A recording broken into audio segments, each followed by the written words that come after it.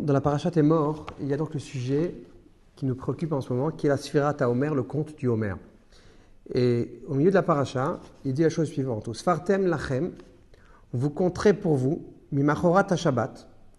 À partir du lendemain, et donc, le Shabbat, il s'agit ici du premier jour de Yom Tov, à partir du lendemain de Yom Tov, il faut savoir qu'il y a eu une grande discussion, puisque les Karaïtes, eux, disaient que Shabbat, c'était du Shabbat vraiment, du, du, vendredi soir, du Shabbat, du samedi. Alors que les Chachamim ont dit non, Machorat Shabbat ici veut dire lendemain du premier jour de fête de Pessah. Et c'est à ce moment-là qu'on commencera à compter. Miyom Havi Achem et Omer Atenufa, à partir du jour où on a apporté le Omer Atenufa, c'était ce Omer du balancement, ce Korban Omer, Sheva Shabbatot Temimot Tiena. Sept semaines entières, elles seront entières. Et vous compterez donc sept semaines entières. Donc d'un côté, on nous parle de compter sept semaines.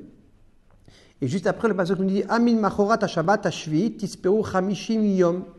Et on nous dit également qu'il faut compter les jours. Chamishim Yom, vous compterez 50 jours. Donc de Pesach à Shavuot. Et à ce moment-là, Shavuot, Vikraftem Mincha Chadasha Lashem.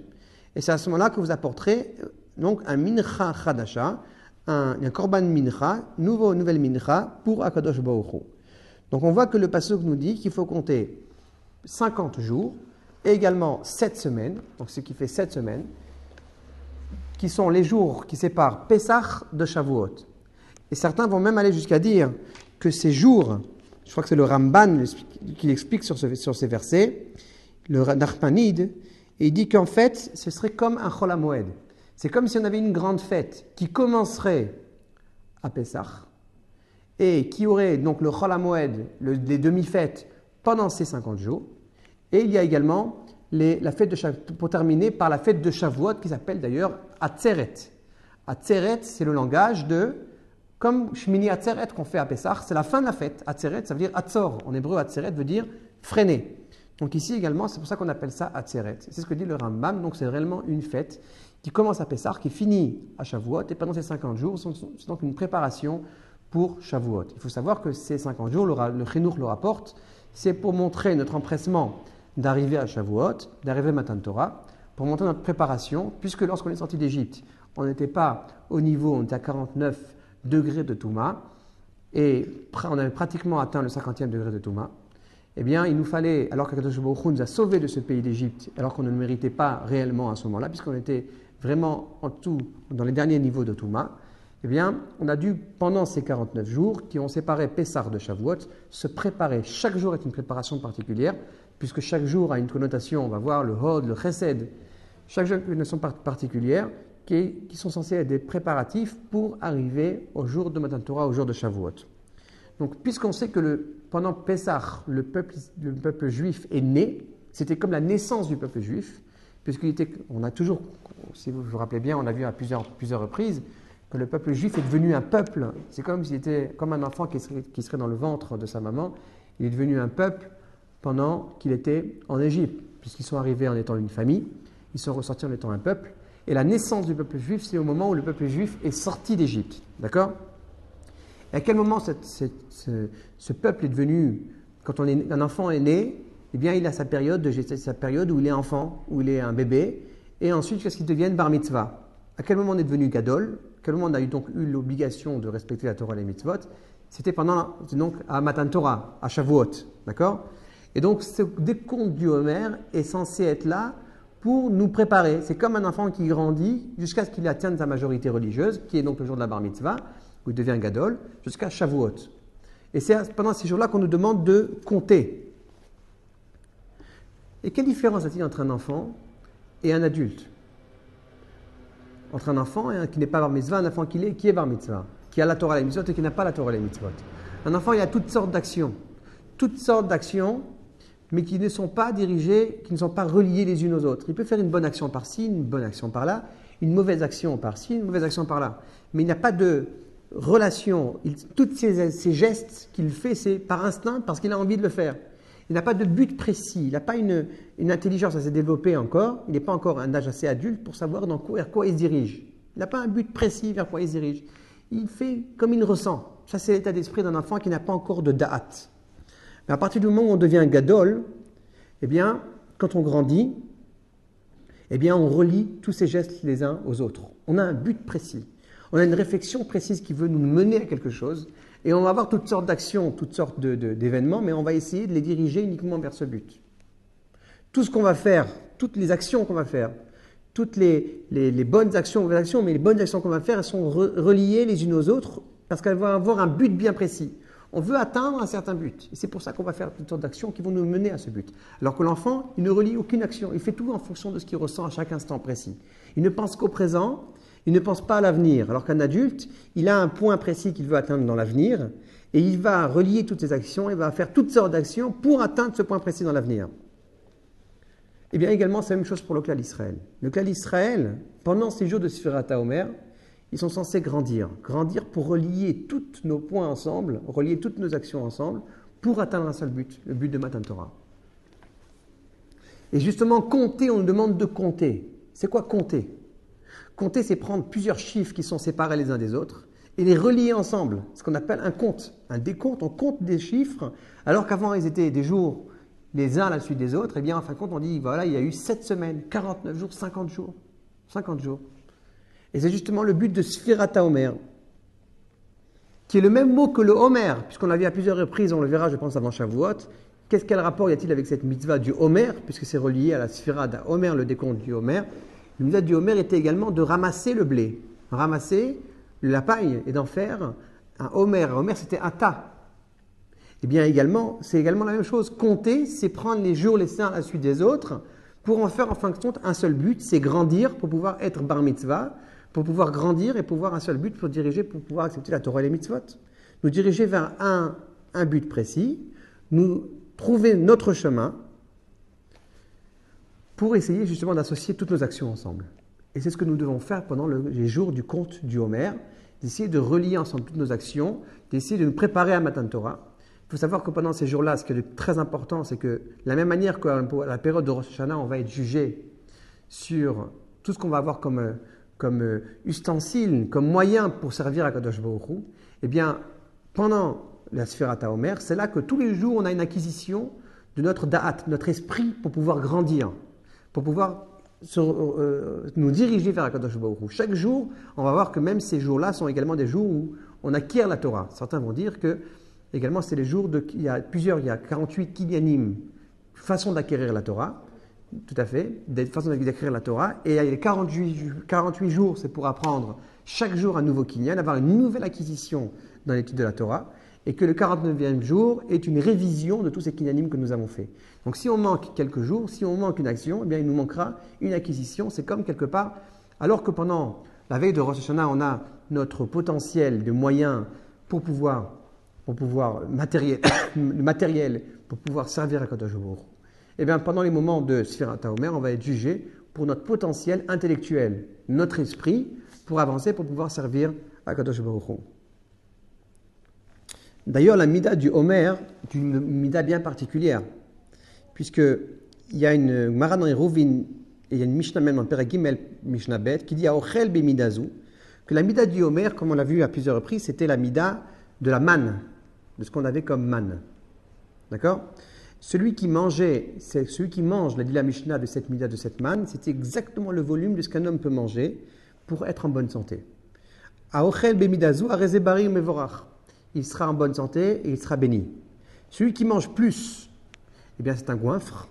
Et celui qui mange moins, eh bien il, aura, il aura faim. C'est la mesure exacte. C'est très difficile de savoir mesurer combien on, peut, on doit manger pour ne pas être dérangé par la suite. D'ailleurs, on dit que la manne, c'était exactement cette mesure. Exactement. Donc le Homer, c'est quoi? C'est la mida qu'un homme a besoin pour se maintenir. C'est pour cela qu'elle a été donnée pour ceux qui mangeaient la manne. C'est ainsi que l'homme, il, se maintient. C'est le yesh. C'est l'acquisition qu'un homme peut avoir. Alors dans cette mitzvah du Homer qu'on a un à Kadosh c'est peut-être un peu ça. Quand on dit Homer reshit ketzirchem la Kohen, on apporte au Kohen nos prémices. C'est une mitzvah où on apporte les prémices au Kohen, de la nouvelle récolte. C'est ça le Homer. Et ce qu'on apporte, c'est justement le, cette mida. Pourquoi si peu? Pourquoi uniquement cette mida du Homer? Parce que cette mida-là, on lui apporte, c'est comme si on lui apporte tout ce qu'on était, notre résistance. Puisque on a dit que le Homer, c'est ce qui nous permet d'exister. qui nous permet de se maintenir en vie, juste, juste, juste exactement ce qu'on a besoin, notre besoin journalier, et bien également, c'est ça qu'on apporte à Kadosh Baruch Hu, notre potentiel, notre yesh. Eh bien, également, pendant ces jours du Homer, ce qu'on aura la chance, ou ce qu'on aura là, avec notre volonté, avec nos actions, ce qu'on arrivera à atteindre comme niveau d'acquisition de Torah, d'acquisition de potentiel, eh bien, ce sera notre yesh, ce sera ce qu'on aura avec nous. Yesh Shelano. Comme l'a dit, c'est donc beaucoup plus, encore plus grave que les Yamim Noraïm, puisque c'est notre potentiel intellectuel et d'esprit pour, pour servir Hachem qui sera acquis uniquement pendant cette période-là. Donc essayons de diriger toutes nos actions pour qu'ils deviennent un seul compte. Parce que des chiffres qui sont séparés les uns aux autres, à un certain moment, ils vont devenir un seul compte, les chiffres 50. Et ce qui va nous permettre donc de grandir, de devenir un matin Torah. Mais si on prête attention quand même à ce qu'on a vu jusqu'à présent, eh bien, matin Torah, c'est quand même un. Entre Pessah et Shavuot, c'est quand même un jour de fête. Un jour de fête où c'est vraiment les jours où on pourrait appeler ça Cholo Shel Moed, le jour de Chol Moed. Et pourtant, si on prête attention, nos sages, puisque le Rambam nous l'a dit que c'est un jour de fête, eh bien, alors il faudrait quand même comprendre si ce sont des jours de joie, des jours de Chol Moed, comment ça se fait qu'on en a fait quand même des jours de deuil? Nous savons tous que jusqu'à l'Akba Omer, pour nous, ce sont des, jours de deuil. D'accord? Et pour quelle raison? Comme dit la Gemara dans Yevamot, Amoyud bet elef zogim talmidim Rabbi Akiva. Rabbi il y avait 12 000 pères d'élèves, ce qui fait 24 000. Donc de Gavat jusqu'à Antirpas, c'était donc des villes. Et tout le monde est mort à ce moment-là. Pourquoi? On va essayer de comprendre ce qu'est ce mot kavod. On l'a déjà vu ensemble. Kavod, c'est ne s'honorer pas, pas d'honneur les uns envers les autres. Vaya olam shamem. At shebaraba etel rabotenu shebadarom bishan alaem tanakulam metu mi pesar. Et c'est pas pour rien que tous ces hommes sont morts entre Pessah et Shavuot on nous dit que tous ces hommes, s'ils sont morts entre Pessah et Shavuot, c'est pas pour rien. Ils avaient un comportement qui était, certes, peut-être pas à leur, niveau, puisqu'on voit que, on va essayer de comprendre ensemble, qu'ils ne se respectaient pas les uns les autres. Mais pourquoi sont-ils morts à cette période-là, justement, entre Pessah et Shavuot? Parce que même si nous, aujourd'hui, on, dit, on sait bien que ça s'est arrêté quand même, parce qu'on s'arrête, en tout cas, on arrête le deuil. On arrête le deuil à l'Akba Omer, le jour où Rabbi Shimon Bar Yochai et Niftar est décédé. Donc on arrête le deuil ce jour-là. Alors pourquoi la Gemara nous dit mi Pesach de Pesach à Shavuot? C'est-à-dire que la Gemara comprend bien qu'il y a une relation entre la mort des enfants de Rabbi Akiva, la mort des élèves de Rabbi Akiva, et cette période donnée qui est entre Pesach et Shavuot. Nous, on a compris à présent que c'était une période quand même de joie, parce que c'est une période de Chalamouet, comme dit le Ramban. Mais quand bien même on voit que dans cette période, c'était une période annoncée pour que les élèves de Rabbi Akiva puissent mourir à ce moment-là. Ce n'était pas pour rien s'ils sont morts entre Pessah et Shavuot. Pourquoi sont-ils morts entre Pessah et Shavuot, justement? Nous avons vu ensemble que cette période était la période où nous avons notre potentiel de, de l'esprit, de notre intellectuel, on essaie de l'acquérir, en tout cas au niveau de la Torah, on l'acquiert pendant ces moments-là. Ce sont les 48 façons d'étudier la Torah, enseignements pour pouvoir comprendre kinyanim dans la Torah, acquisition de la Torah, se font pendant cette période-là. C'est-à-dire que c'est une période qui est propice à tout ce qui est Torah chez Alpé, loi orale. Il faut savoir, je pense que vous le savez, que Rabbi Akiva, lui, représentait la Torah chez Alpé, la loi orale. Alors que Moshe Rabbeinu, lui, n'a fait que transmettre. Moshe, Kibel, Torah, Misedai, Omesara, Yoshua. Il y a eu une transmission de la loi écrite qui s'est faite de, Moshe, de, de Moshe au, à Yoshua, Yoshua au dans la première Mishnah. Donc il y a eu une transmission de la Torah à ce niveau-là. Mais la Torah chez Béalpé, au moment où il y a, à quel moment elle, est elle a ressurgi, à quel moment il y a eu toutes les dimensions de Torah chez Béalpé, eh bien ça a été justement au moment de Rabbi Akiva et de Rabbi Shimon Bar Yochai. Pour quelle raison? Parce que c'est à ce moment-là qu'il n'y avait plus le, la dimension de Torah chez Birtav. Il y avait, il y avait plus de Beth c'était la, destruction du, la période de la destruction du Beth Amikdash, où à ce moment-là, il y avait pratiquement plus de preuves explicite de présence divine sur terre d'Akadosh Baruch Et c'est à ce moment-là que devait prendre le dessus la loi orale pour, qu'il y ait une transmission de maître à élève. Et c'est ce qu'a fait Rabbi Akiva. Il a enseigné à 24 000 élèves. C'était fabuleux, un, un comme Rabbi Akiva, qui a enseigné à 24 000 élèves. Il n'a pas, quand il a vu qu'ils sont tous morts, eh bien, il a continué à enseigner. Il aurait pu avoir, il aurait pu avoir un. Ils ne sont pas tous morts, on va voir ensemble tout de suite, il en restait quelques-uns. Mais il a continué à enseigner encore quelques-uns, quelques, quelques talmidim.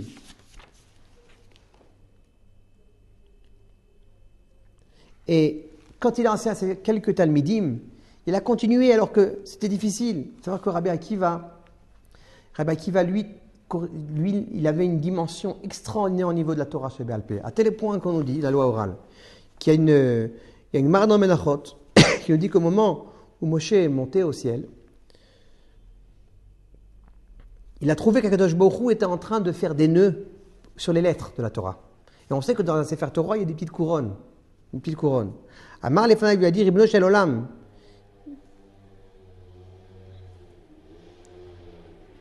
Pourquoi tu rajoutes des petites couronnes quand Moshe Rabbeinu est monté au ciel pour recevoir la Torah? Il dit, pourquoi tu rajoutes des petites couronnes sur les lettres? Quel est le but de ces petites couronnes? Il lui a dit à Kadosh à Moshe, il va y avoir un homme qui va, dans, plusieurs dans quelques générations, savoir expliquer chaque petite couronne qu'il y a sur chaque lettre. il va s'appeler Akiva Ben Yosef.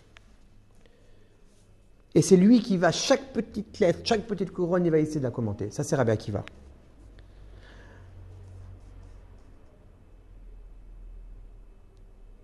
Alors, Moshe Rabbeinu a dit, je veux voir de quoi aura l'air ce Rabbi Akiva, de quoi il s'agit? Et il est allé s'asseoir dans un endroit on l'a mis dans un endroit, bien sûr c'est une, image, d'accord Et au, bout d'une rangée de huit, rangées, Shmone Shurot, et Rabbi Akiva et ses, élèves parlaient de Torah. Et Moshe ne comprenait même pas de quoi il parlait. Ça nous dit. Moshe s'est sorti mal. Il a dit, je ne comprends pas, mais moi je ne comprends même pas de quoi il parle. Ils font des allusions dans les lettres de la Torah, et moi je vais descendre la Torah et je ne comprends même pas de quoi, de quoi ils parlent.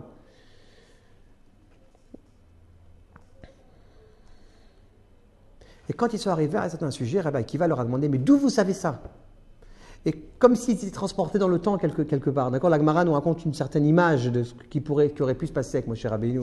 Comme s'il avait une machine à, dans le temps. Il est arrivé devant ses élèves et il leur a dit Mais je ne comprends pas, mais d'où vous savez ce que vous êtes en train de dire maintenant? D'où vous le savez? Et qu'est-ce qu'ils lui ont dit? Alakha Moshe Misinaï. C'est une de Moshe qui a reçu Et quand Moshe a entendu ça, donc elle a été tranquillisée. C'est vrai qu'on a des difficultés à comprendre, c'est uniquement une image pour nous montrer un peu que, évidemment, tout provient de Moshe, d'Hachem de, à Arsinaï. Mais après la Torah chez Béalpé, c'est eux qui l'ont fait ressortir. C'est ça qui va relier à Kadosh Baruch au Béné Israël, c'est la Torah chez Béalpé. Et tout ça, c'est Rabbi Akiva. Donc, ces jours-ci, ces jours entre Pessah et Shavuot sont des jours propices pour la Torah chez Béalpé. sont les jours propices où nous avons travaillé la Torah chez Béalpé.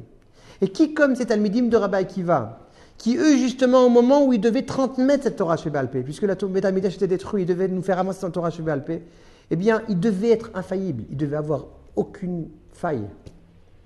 Et dans leur transmission de maître à élève, d'une personne à son ami, c'est surtout dans ce domaine-là qu'il ne fallait pas qu'il y ait de faille. C'est pour ça qu'on a été autant sévère avec eux. C'est très, très cruel de penser que 24 000 élèves soient morts du jour au lendemain, en quelques jours, de Pessar jusqu'à C'est très difficile à comprendre. Eh bien, quand même, on voit que puisque eux représentaient maintenant cette dimension de Torah chez Béalpé, au ce moment-là, puisque la Baraita nous dit, c'est à ce moment-là, la, la nous dit, c'est à ce moment-là entre Pessah et Atzeret, c'est le moment propice de la transmission de la Torah chez Béalpé, puisque c'est le moment où on acquiert cette dimension de la Torah chez Béalpé. Eh bien, c'est à ce moment-là qu'ils devaient être sans aucune faute. C'est à ce moment-là qu'ils devaient être au moins sans aucune faute dans leur relation entre eux. Et ce qu'ils ont fait, qu'ils n'ont pas eu Nagou Kavod Zebazé, on va traduire, ne pas donner du poids. Les uns ne donnaient pas du poids à ce que l'autre disait. C'était tous des très grands érudits. Et bien sûr qu'ils se respectaient les uns les autres. Bien sûr qu'ils se disaient bonjour, ils se disaient au revoir, ils s'aimaient beaucoup. Évidemment, on ne peut pas dire autre chose. C'était des plus grands sages.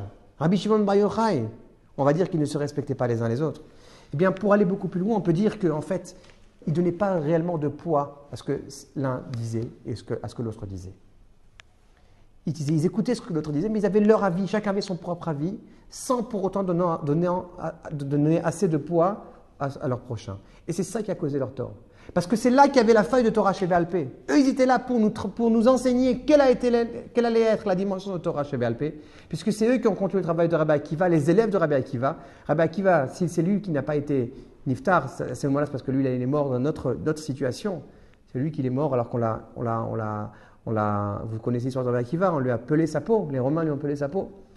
Donc, ces élèves qui représentaient sa dimension Torah chez Balpé, à ce moment-là, entre Pessah et Shavuot, qui est le moment propice de la dimension de la transmission de la Torah chez Balpé, eh bien, ils ne devaient avoir aucune faille dans cette transmission. Et eux, justement là, si on a été aussi cruel avec eux, si Akadosh Baruch a exterminé ou a tué tous ces grands Tamid Chachamim, c'est parce qu'il ne fallait pas qu'il y ait de faille dans cette, transmission de Torah chez Balpé, qui était à son apogée à ce moment-là, au moment des Talmidim de Rabbi Akiva. Et en ne, donnant pas assez de poids les uns envers les autres, ça allait quand même couper cette transmission d'un maître à élève, d'une personne vers une autre, de toute cette dimension de la Torah chez Béalpé. On sait tous que la Torah chez Béalpé, ce n'est pas uniquement une seule personne. Chacun, chacun de nous-mêmes a une cette dimension de Torah chez Béalpé et doit apporter son, élément. Chacun a une compréhension. Il y a 600 000 Neshamot, 600 000 compréhensions de la Torah. Et on doit la comprendre de cette manière-là, chacun avec son esprit, avec ses, avec ses facettes, avec sa personnalité. Et c'est ça la transmission de la Torah chez Béalpé. Et tout fait partie de la loi orale de la Torah chez Béalpé. Et quelque part, ça les amène, quand on ne donne pas assez de poids à ce que notre ami dit, ça nous amène quelque part vers un égoïsme. On, on, en finit à penser qu'à soi. Parce qu'on voit bien que Rabbi Akiva leur a dit, comme il dit dans le Midrash, Ils, avaient, ils étaient égoïstes, ils avaient l'œil restreint, ils étaient restreints, ils regardaient trop ce qui se passe chez l'autre. Quand on ne pense qu'à soi, quand on donne de poids uniquement à ce que l'on pense soi-même, eh bien, quand, l'autre a également une réussite, eh bien, on en finit par croire que ce n'est pas vraiment ce qu'il faudrait. Et certains même racontent l'histoire d'un rave qui, une fois, est dans une yeshiva d'un, ami qui lui a dit Viens voir ma yeshiva, je t'invite. Et il a invité à voir venir sa yeshiva. Il a dit Regarde, c'est extraordinaire, tout le monde étudie, c'est extraordinaire, il y a une natmada. Et tout le monde est extrêmement sérieux. Et l'autre, il lui a dit Si tu veux réellement voir si tu le fais pour Hachem et pas pour ton propre honneur, va dans une autre yeshiva. Va voir si elle a le même sérieux et regarde si tu le même, si es autant heureux. Si pour toi réellement le bonheur c'est de voir des gens étudier la Torah, de voir ce sérieux dans l'étude de la Torah, eh bien tu devrais être capable d'être aussi heureux si tu le vois chez des étrangers, si dans la yeshiva de ton prochain et pas dans ta propre yeshiva. C'est à ce moment-là qu'on peut voir quand on n'est pas égoïste, quand on, en a un seul intérêt, c'est que la Torah avance, c'est qu'il y a un sérieux dans l'étude de la Torah, c'est également cet Almidim là de Rabbi Akiva qui devait donner du poids à ce que chacun disait. Eh bien, c'est justement cette période du Homer, qui est une période on doit tout faire pour acquérir cette dimension de Torah. On doit tout faire pour essayer chaque jour d'acquérir cette dimension. On a une dimension différente à chaque jour et jour. Et le jour de l'Akba Omer, c'est à Hod Sheba Hod. C'est pour ça que ce jour de l'Akba Omer, eh bien, il y a eu cette interruption quelque part. Et on peut, c'est pour ça que certains, même en Shulchan c'est écrit de cette manière-là. On peut, certains se marient le jour de l'Akba Omer, d'autres se marient même de l'Akba Omer jusqu'à la période de Shavuot. Mais quand bien même, c'est quand même une période de joie, mais qui est mêlée comme avec cette tristesse de ce qui s'est passé et qui doit quand même nous renforcer pour qu'on fasse un seul compte de la Sphirata Omer, qui doit nous faire passer de l'âge d'enfant à l'âge adulte et qui doit faire qu'on doit relier toutes nos actions les unes aux autres pour les diriger tous dans un seul but, pour en faire un seul compte et les diriger vers l'approche, nous diriger vers Matan Torah.